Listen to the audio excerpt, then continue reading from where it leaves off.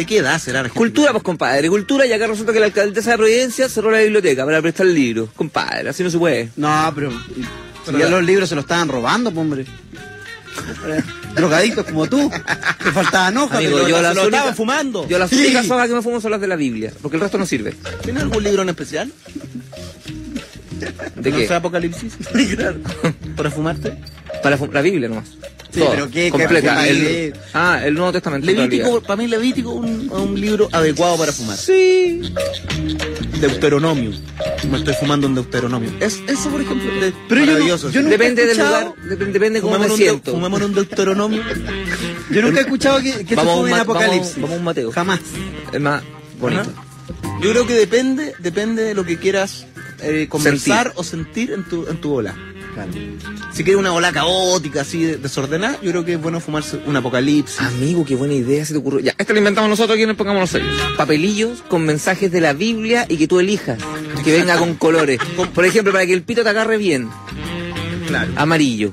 Para, eh, si te quieres que el pito te agarre alegre, verde. claro. Claro. Si te quieres andar depre, porque hay gente que le gusta andar depresiva, como la vocalista de Evanescence. Claro. Claro, negro. Emily. O púrpura, Emily. O, o púrpura. Si quieres recordar a tu padre mientras fumas, eh, puedes fumar Calipso. el versículo de El Hijo Pródigo. Mira. Mira. Que no sé en qué libro está exactamente. Buena. Yo creo que así de- debería comunicarse la gente. Fumémonos un, un Josué.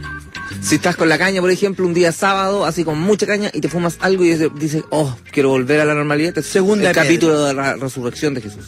También. y resucitas nuevamente tú. Bueno, muy bueno.